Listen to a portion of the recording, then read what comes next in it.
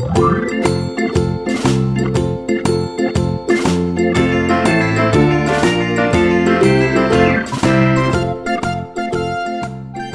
kesempatan kali kita akan membahas sebuah soal. Harga satu lusin buku tulis di sebuah toko peralatan sekolah adalah 48.000 harga 6 buku tulis adalah nah di sini berarti kita hitung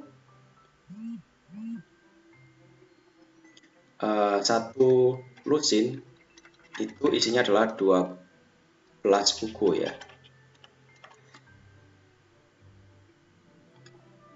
Nah, sedangkan di sini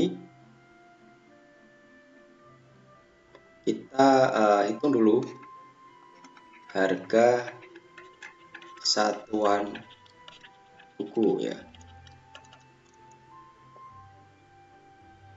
yaitu 48.000 kita bagi dengan 12 karena satu lusin itu isinya 12 jadi 48 dibagi dengan angka 12 adalah 4000 ya. Jadi satu buku itu harganya adalah 4000 nah kemudian karena dia belinya 6 jadi harga 6 buku tulis ya kita kalikan.